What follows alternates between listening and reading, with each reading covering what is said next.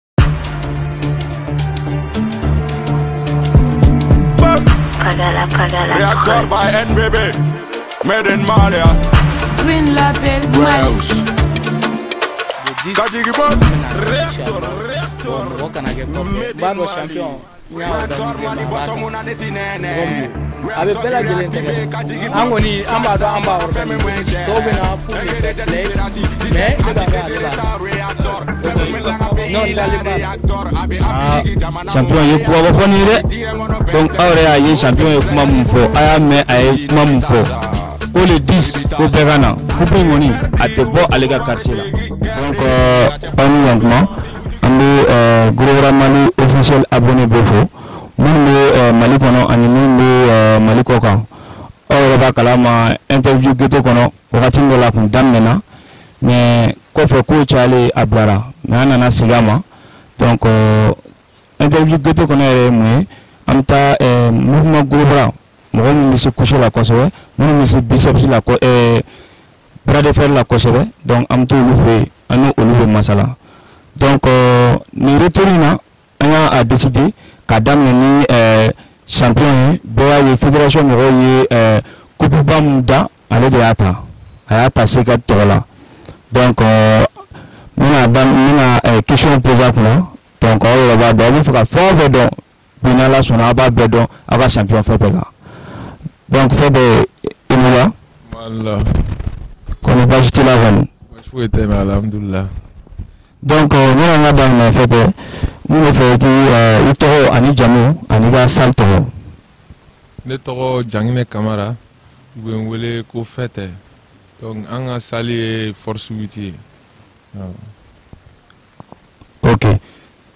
bon question min bɛ yen nɔ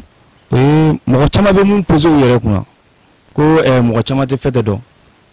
ah, dɔw yɛrɛ ko ko ah, olu ma a ye fanga sɔrɔ cogo min na olu t'a dɔn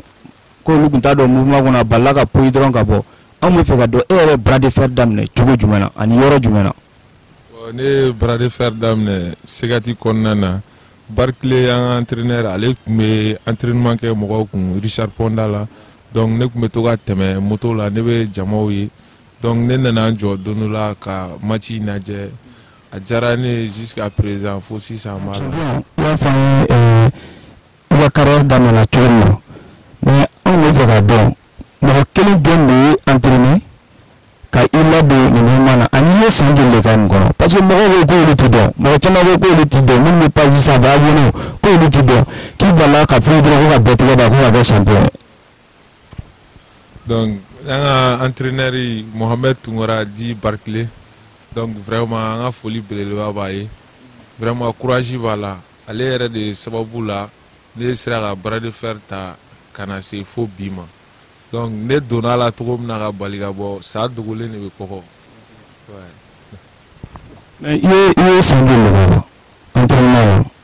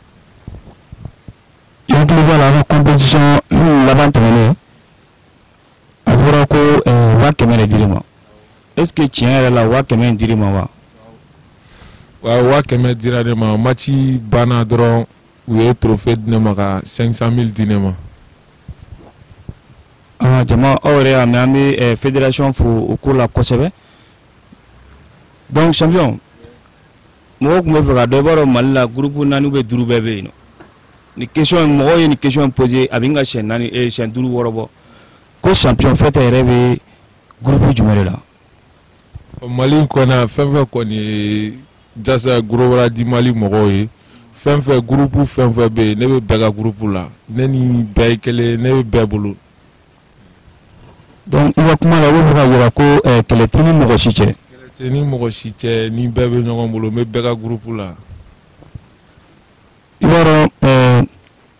aw ka coupe de ɛɛ an bɛ se k'a fɔ coupe ba min kɛra a ma mɛn kosɛbɛ donc aw yɛrɛ ɲɛ b'a la temps ba dira aw ma pour que aw ka se ka entraînement kɛ ala y'a kɛ i ye o coupe ta mais mɔgɔ min bɛ fɛ ka don nɛgɛtala kuraw bɛ fɛ ka mun dɔn e yɛrɛ i ye entraînement i ye entraînement jumɛn de kɛ.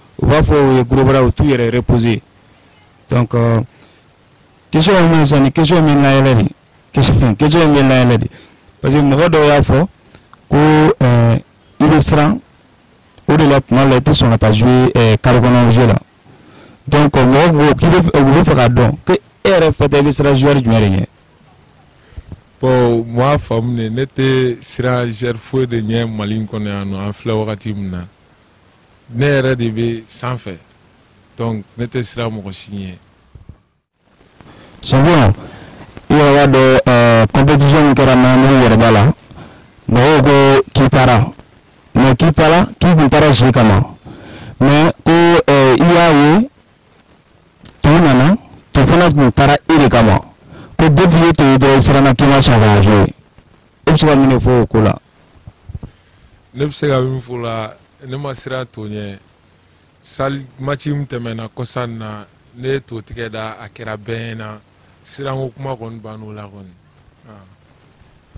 donc o b'a yira i tɛ siran to ɲɛ hali n'a ka d'a ye sini i tɛ siran ne tɛ siran to ɲɛ n tɛ to ninnu jate yɛrɛ aa aw yɛrɛ ye nin mɛn ye nin b'a yira tiɲɛ yɛrɛ la a dalen don a yɛrɛ la donc euh, champion ma se ka kuma yɛlɛma o ye an bɛna jamana de kɔnɔ sisan nɔ i b'a dɔn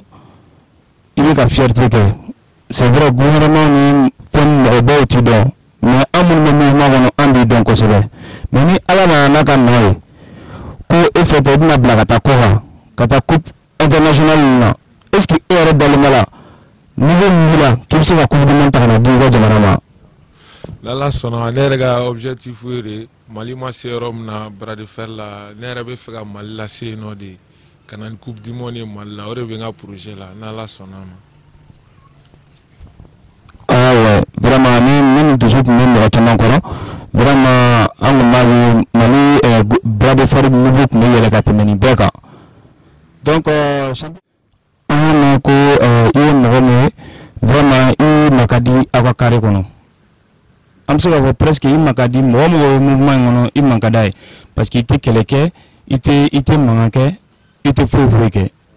mais mun de nana n'o ye i ka mɛtiri de ye kangari da ye wa ou bien dɔ de y'a f'i ye n'i taara compétition kɛ wa n'i ye mankan kɛ i bɛ bugɔ wa. non o sɔrɔla ne ba ka yɔrɔ de fɛ parce que ne ka musokɔrɔba a bɛ n contrôler kojugu. hali ni ne bɔra n'i ye tan dɔw kɛ kɛnɛ ma sɔni sɔni a bɛ n wele sɔni sɔni a bɛ n wele bɔn ne yɛrɛ bɛ bara de fɛri daminɛ tuma min na ko ne u ko a ma ko bandiya don vagavoya don donc ne nana yira la o tɛ a yɛrɛ y'a faamu sisan donc an b'o position de la vraiment a man ne yɛrɛ fɛnɛ ka mankan kɛ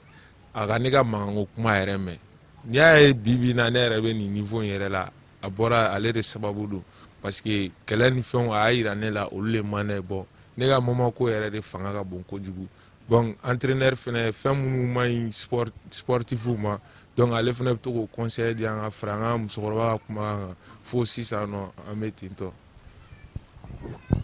o kuma in na an bɛ an bɛ musokɔrɔba fo la kosɛbɛ donc an b'a fo an b'a fo kosɛbɛ a ye euh, fɛtɔ sɔn sabali mun na vraiment an bɛ euh, musokɔrɔba fo donc champion i b'a dɔn i ye mɔgɔ min ye i man ka di kosɛbɛ i b'a ka commune na yan nɔ baaradefɛkɛla denmisɛnnin caman bɛ yan nɔ mais e ye champion ye ka ban mais i kelen don ka mun de ye euh, boloda u ye pour que olu fana hali ni e taara don min na u kana i place ta donc an b'o sira yɛrɛ de kan sisan nin wagati in na donc fɛn fɛn bɛ yen nɔ ko bras de fer ka d'u ye u bɛ ka gɛrɛ ne la donc a ka di n ye u fana bɛɛ ka yɛlɛn ka fara ne kan pour que caman ka se ka bɔ denmisɛnninw ka vagabondya n'u ka bandiya n'u ka fɛnw na donc n yɛrɛ ka laɲini yɛrɛ ye mun ye nin wagati nin na denmisɛnnin fɛn fɛn bɛ yen nɔ k'u gɛrɛlen don na sport ka d'u ye n kanu kama donc fana bɛ k'u la motiver pour que k'u sen bɔ kow la u ka se ka fara n kan pour que ne fana mana taa olu fana ka se ka na. a fɔra ko eh, bɛnbaliyaw bɛ kɔnpetitɛriw cɛ ko aw tɛ bɛn tuma dɔ la n'aw ye ɲɔgɔn ye aw bɛ ɲɔgɔn bolokuru mankan bɛ kɛ mɛ esike eh, fɛn tɛ e b'o la wa n'i taara e bɛ se ka conseil jumɛn de fɔ u ye parce que diɲɛ mɔgɔw tɛ fɛn mɔgɔ hakili bɛ min kɛ page bɛ yen plus de cent mille abonnés bɛɛ de bɛ kan na bɛɛ de ɲɛ bɛ kan na diɲɛ kɔnɔ mɛ i bɛ se ka wuli i bɛ se ka conseil jumɛn de di uh, i teriw ma i ka concurrents ma. Uh, sport tɛ kɛlɛkɛko ye kɛlɛ kɛlɛ yɛrɛ tɛ sport yɛrɛ kɔnɔna na sport dabɔra de i ye baara min kɛ i bɛ taa kɛ k'a yira. mɔgɔw la o de ye sport yɛrɛ nafa ye bɔn kɛlɛ tɛ ne ni mali zɛri foyi tɛ en tant que sportif parce que ne y'a kanu ne y'a kɛ n ka baara de ye donc ne ye n t'o kɛlɛma yɔrɔ la hali ni competition fɛn o fɛn kɛra ni ne ma se ka taa kɛnɛ kan ne bɛ zɛri bɛɛ wele a mana fɔ ne mɔgɔ min gaɲɛna ne b'o wele k'o felisite o de bɛ ne ni zɛriw cɛ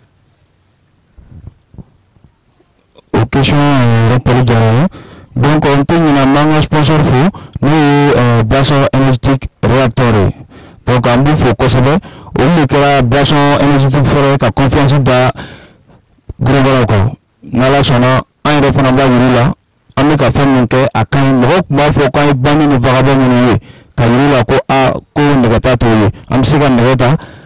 ka se ka baara wɛrɛ kɛ an ye nɛgɛ ta an bɛ k'i n'a fɔ siri tɔw donc euh, champion minnu ɲininka question min na sisan nɔ o ye euh, ni e tun kɛra mali bradefɛnkɛlaw bɛɛ ka ɲɛmaa ye ni tun kɛra mali mouvement groupe bɛɛ ka mouvement ye e tun bɛ mun kɛ aa suruja ɔ o ma gɛlɛ o o ye ka mɔgɔw fara ɲɔgɔn kan ka hakilina ɲuman d'u ma sipɔri yɛrɛ kɔnɔna na ka rɛgiliw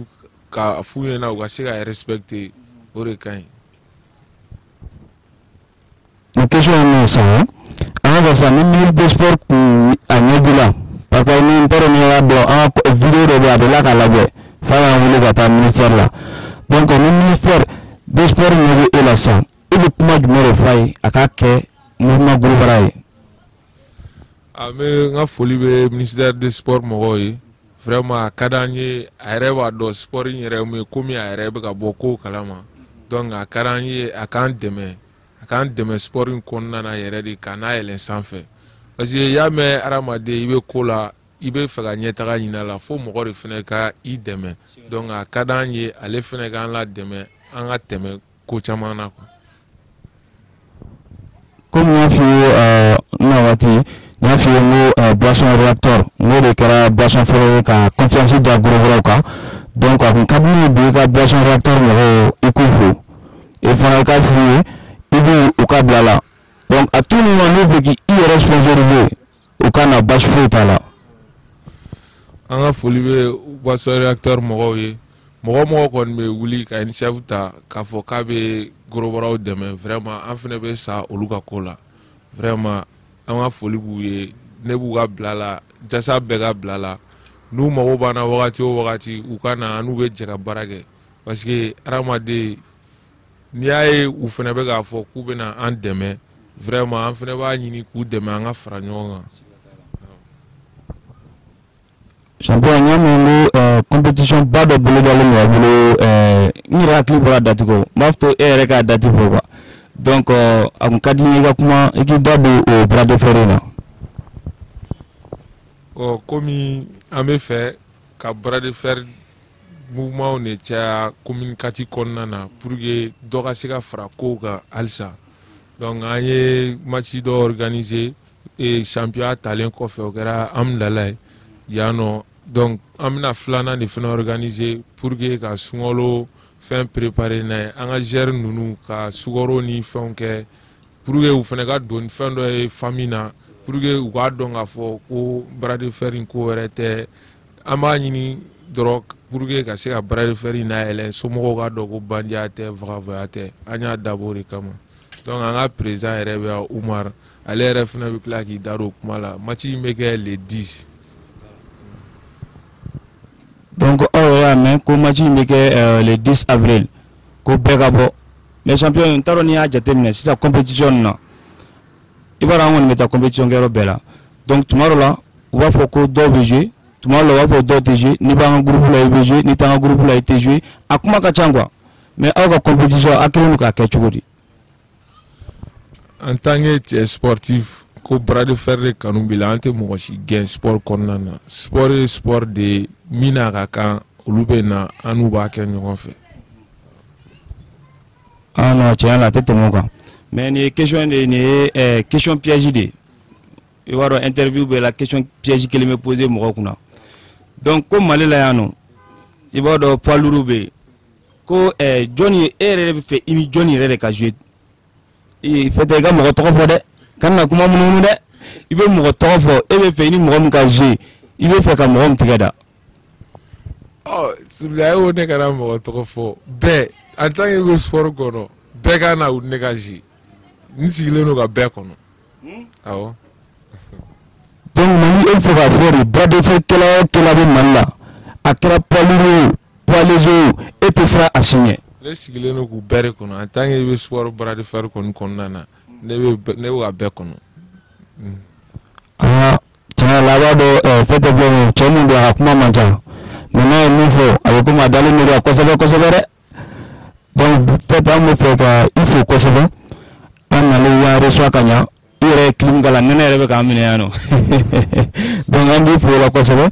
an bɛ ɛɛ boisson réacteur mɔgɔw fo kosɛbɛ olu minnu ye confiance ta k'a d'an kan ka se ka an pousser ka taa ɛɛ ɲɛfɛ kosɛbɛ donc an b'u fo kosɛbɛ donc champion kuru sera cɛncɛn ma. dɔn ko minnu bɛ fɛ ka dɔn i yɛrɛ ka kumakan laban ye mun ye kɔsɛ jumɛn de b'i bolo k'a di mɔgɔ ma fɛn o fɛn de b'i kɔnɔ sa i k'a bɛɛ fɔ yanni i ka perezan ka na n ka kesɔn poze a kunna. n ka foli bɛ n ka fanuw ye ani dɛmɛbagaw surtout an ka perezan umaru ba n'o ye an ka force witi perezan ye n ka foli b'a ye n ka foli bɛ n ka marɛni ye tanti batɔma vraiment u ni ce u ni baraji u ye n dɛmɛ fo ka na se bi ma. n ka foli bɛ n ka faniw yɛrɛ yɛrɛ yɛrɛ yɛrɛ de hali ni n bɛ taa jahanama kɔnɔ u bɛ tugu n kɔ ka taa ka taa supɔrite vraiment foli belebeleba kan ka di olu ma yɛrɛ yɛrɛ de donc a ka di n ye n ka faniw le 10 o y'an ka competition organiselen ye commune kati kɔnɔna na donc ɲɛ ni eh, président yɛrɛ ye ɲɔgɔn fɛ ale de sɔnna ka confiance ta k'a da mali gurubɛw la k'a fɔ a ye compétition kɛ ne b'a sponsorise an bɛɛ kelen an bɛɛ de ye jeune ye donc président ɲɛna an ka don compétition eh, question na n bɛ fɛ ka dɔn kun jumɛn na e ye confiance ta k'a da gurubɛw kan k'o fo k'u sponsorise donc euh, n bɛ bɛɛ lajɛlen fo yanni n ka kuma daminɛ n bɛ mali borobara bɛɛ lajɛlen fo ani ministre de sport a bɛ cɛsiri mun na sport ko la jamana in kɔnɔ donc euh, a k'i hakili to borobaraw la donc euh, olu ni balontannaw a bɛɛ ye kelen borobara n'an yɛlɛnna sanfɛ inshallah an bɛ hali coupe du monde ka na n'a ye mali la parce que n dalen bɛ n ka cɛden na a filɛ n kɛrɛfɛ yɛrɛ mun ye fɛtɛ ye n b'a dɔn champion don et puis a bɛ se ka coupe du monde ta ka d'a ma don n'a nataw la ni ala sɔnna président bɛɛ b'a ka le disco kalama parce que a kuma taara yɔrɔ jan bɛɛ y'a mɛn eh, eh, mali la presque parce que il me semble que i ka eh, i ka champion k'a ko ko cɛ o cɛ bɛ fɛ a tigɛ ka da ko ka na donc yanni o cɛ n bɛ fɛ ka i k'a fɔ an ye aw yɛrɛ ye compétition in organiser cogo di a wari bɛɛ bɛ ka bɔ yɔrɔ jumɛn a bɛ ka bɔ e de kun wa ou bien a bɛ ka e fana ka bɔsi de bɛ yen wa a wari bɛ ka bɔ min e fana kelen bɛ ka mun de boloda parce que faut pas que mɔgɔw kana le dis ka n'u sigi ka annuyer aw ye mun de boloda pour que mɔgɔw vraiment ka compétition daminɛ ka laban a ka kɛ nisɔndiya kɔnɔ. bon o yɔrɔ la pour le moment an ma sponsoriw sɔrɔ fɔlɔ donc euh, an mago bɛ sponsoriw la mais compétition in an bɛ k'a kɛ en nos propres fonds.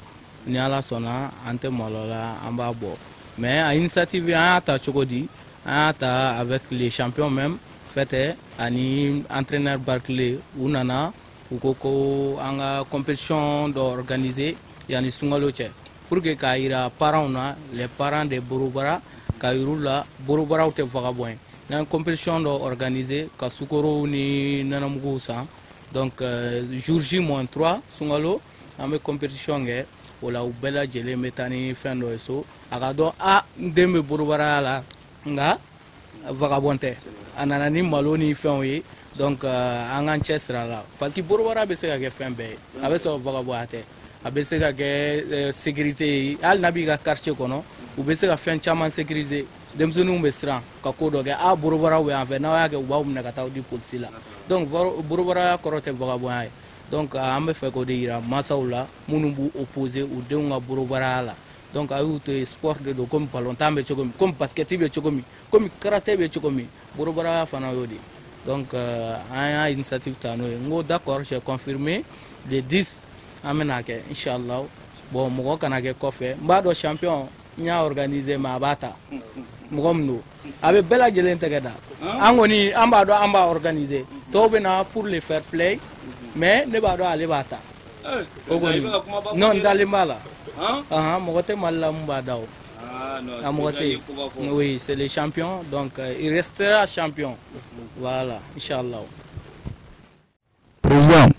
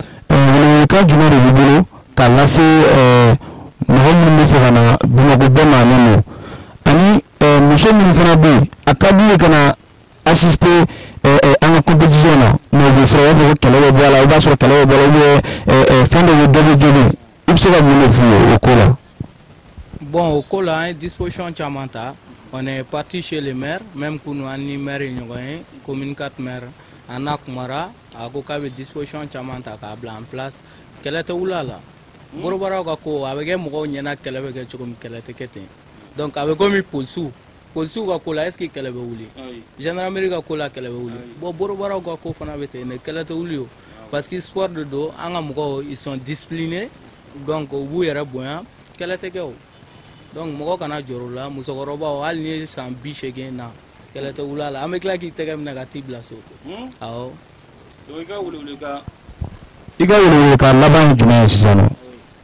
dɔnku japli tu la z n bɛ mali zoriw bɛɛ lajɛlen wele hali ni bɛ sikaso na i bɛ z ka ta bagadaji amidala kɔmi sisi bɛɛ n bɛ bɛɛ wele de kɔmimina z ka kɔmi n bɛ bɛɛ lajɛlen wele aw kana aw ye vtlen don di an bɛ z si la n ka foli bɛ n dɛmɛbaga bɛɛ fɛn fɛn bɛ ka n dɛmɛ a ka di n ye u bɛɛ ka bɔ le 10 ka na commune 4 kɔnɔna na yan nɔ zɛriw a ye na commune 4 kɔnɔ le 10 maci belebeleba dɔ organiselen don ne yɛrɛ cɛ kumaba cɛtɔ sama belebeleba ne yɛrɛ bɛ kɛ kɛnɛ in kan ni min bɛ fɛ n k'a tigɛ da o ka na le, le 10 n'ala sɔnna ma a tigɛ basi min na mi dɛsɛ ne yɛrɛ bɛ kɛnɛ kɔnɔ yan nɔ a mali bɛɛ ne de b'a an y'a organiser ne yɛrɛ de b'a ta ka to commune in kɔnɔ yan nɔ aa champion ye kuma bɔ fɔ nin ye dɛ donc aw yɛrɛ y'a ye champion ye kuma mun fɔ a y'a mɛn a ye kuma mun fɔ ko le 10 ko bɛɛ ka na coupe in kɔni a tɛ bɔ ale ka quartier la ko e cɛ o cɛ bɛ yen